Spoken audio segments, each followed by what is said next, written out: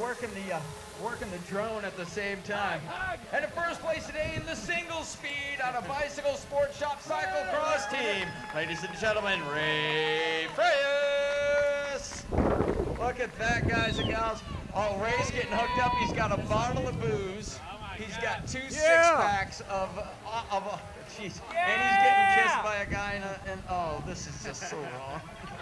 No, it's so This right. is so. This is cycle.